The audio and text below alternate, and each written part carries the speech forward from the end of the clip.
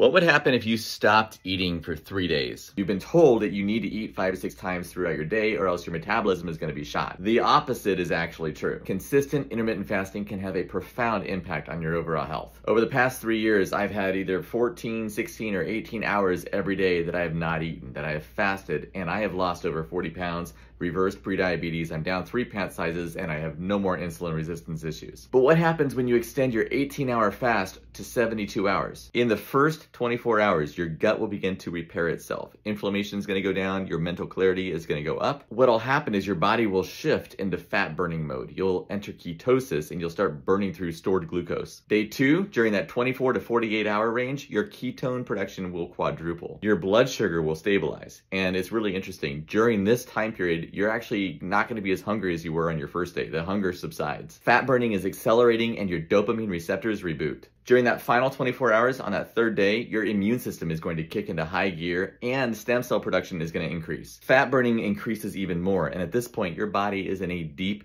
cellular cleanse. It's being taken care of like it's at a five-star resort and massage. Damaged cells are being cleared away. Your brain is literally rewiring yourself. I mean, it is a full cleanse for your body.